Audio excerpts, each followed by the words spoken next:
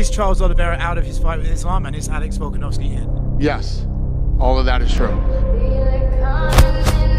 featherweight champion, Alexander Volkanovski. Fighting is all about decisions. There's this temptation to ease up when the fight is over. But the fight is never over.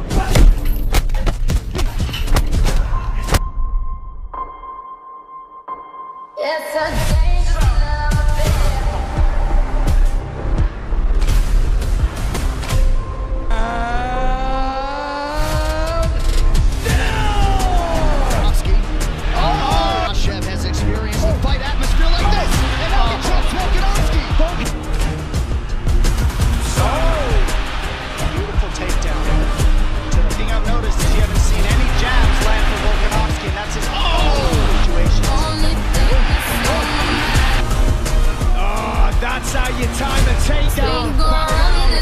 tonight.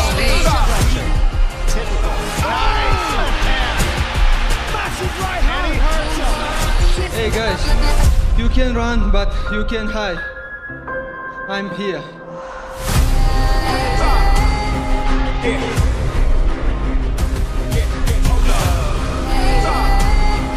People are gonna obviously think oh, I'm crazy for doing this, but I get to shock the world. I can't wait to go out there and do it.